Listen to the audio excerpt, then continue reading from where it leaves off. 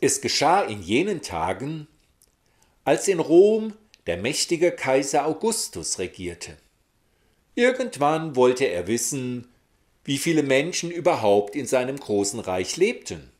Und so gab er den Auftrag, dass überall im ganzen großen römischen Reich Boten den Menschen folgenden kaiserlichen Befehl verkünden sollten.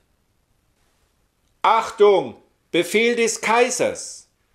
Jeder erwachsene Mann soll in seinen Geburtsort gehen und sich dort in die Listen eintragen lassen.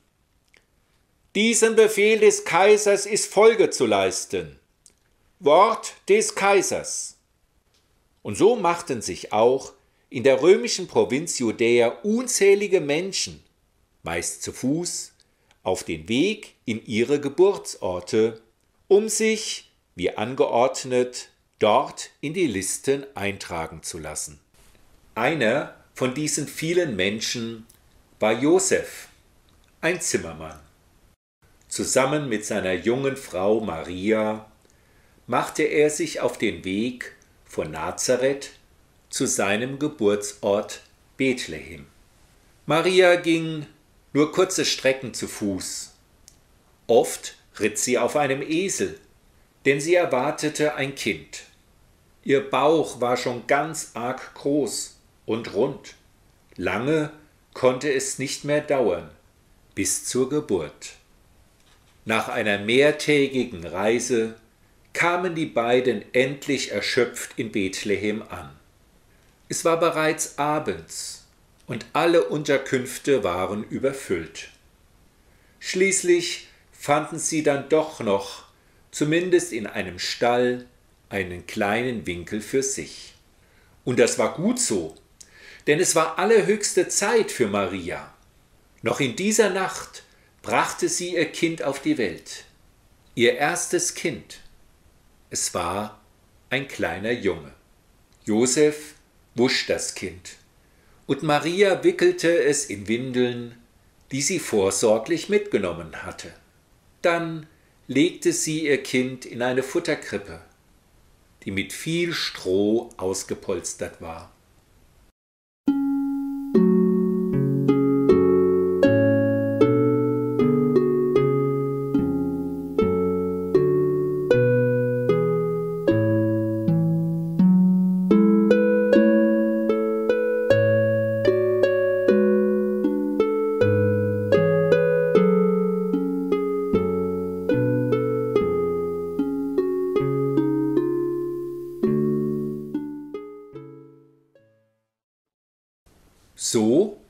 In jeder Nacht waren auch in dieser Nacht Hirten draußen vor dem Dorf bei ihren Herden auf der Weide.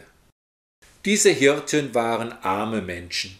Sie hatten wirklich nicht viel zum Leben und waren auch nicht besonders angesehen bei den anderen Menschen. Ihr Alltag war meist hart und ohne viel Freude. In dieser Nacht jedoch geschah etwas Besonderes. Ja, schier Unglaubliches. Mitten in der finsteren Nacht wurde es auf einmal strahlend hell. Und in dem Licht war es, als sei dort ein Engel. Sie bekamen riesengroße Angst, denn sie wussten nicht, was da geschieht. Aber dann, dann hörten sie aus dem Licht eine gar wunderbare Nachricht.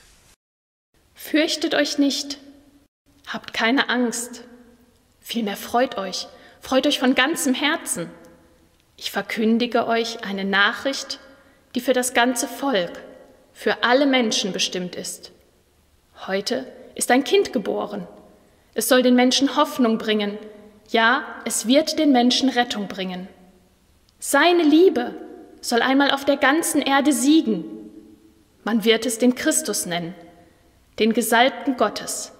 Ihr werdet dieses Kind in einem Stall finden, in Windeln gewickelt und in einer Krippe liegend.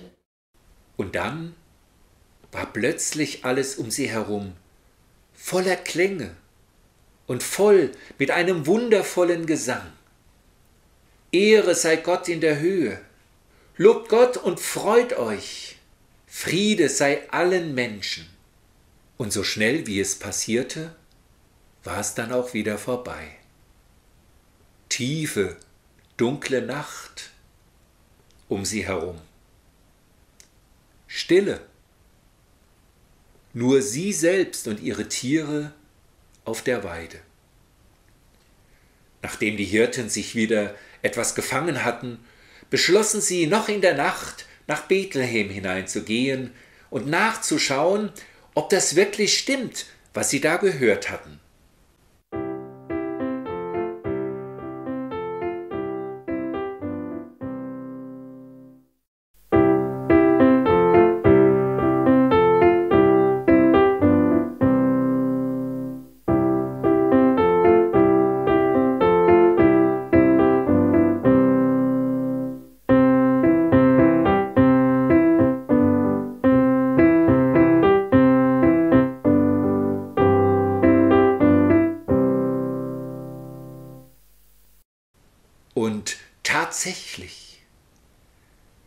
Fanden den Stall.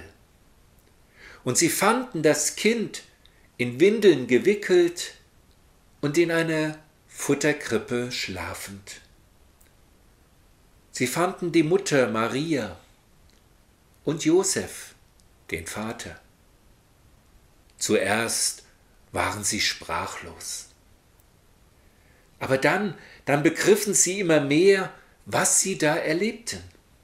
Und eine ganz tiefe und stille Freude erfasste die rauen Männer. Voller Andacht standen sie an der Krippe. Dann aber verabschiedeten sie sich bald wieder, um zu ihren Herden zurückzugehen, und am folgenden Tag erzählten sie es allen weiter, was sie erlebt hatten. Sie waren glücklich und vor allem sie hatten neue Hoffnung. Am glücklichsten aber war Maria. Zusammen mit ihrem Mann Josef gab sie ihrem Kind den Namen Jesus oder wie es in ihrer Sprache im Hebräischen heißt, Jeshua. Das heißt übersetzt, Gott ist unsere Hilfe und Rettung.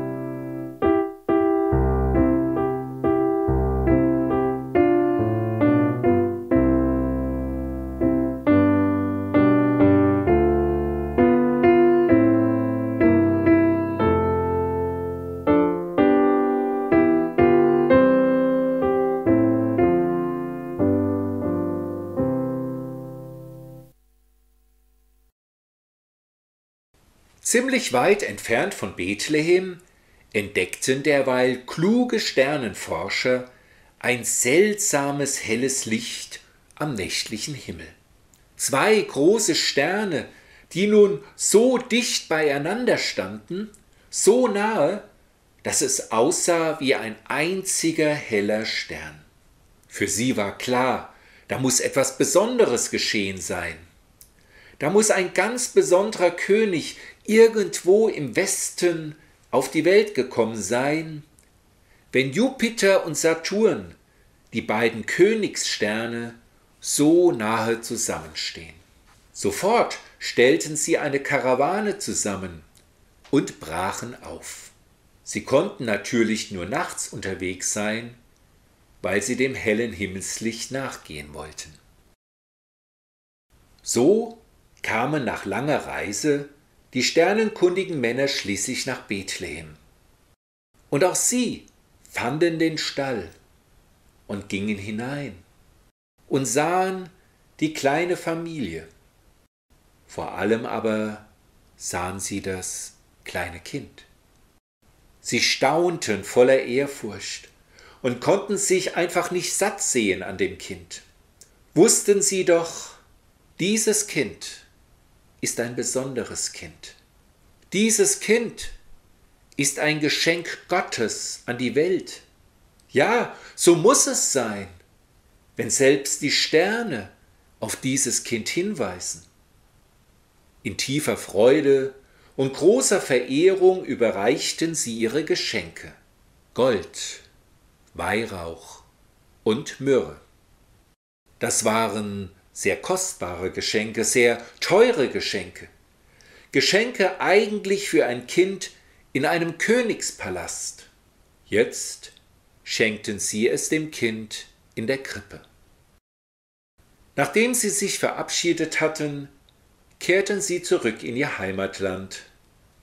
Und auch sie erzählten von dem, was sie erlebt hatten.